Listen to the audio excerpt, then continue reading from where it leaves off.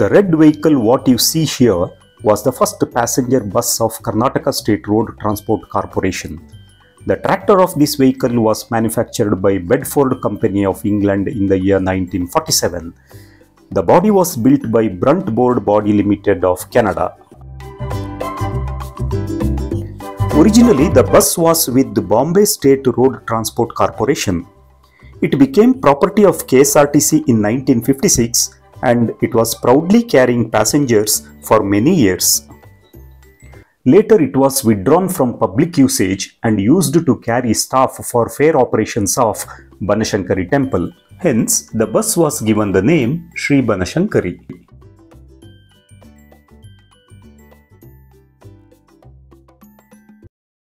This eye catcher has been on permanent display at the premises of the head office of KSRTC in Bengaluru.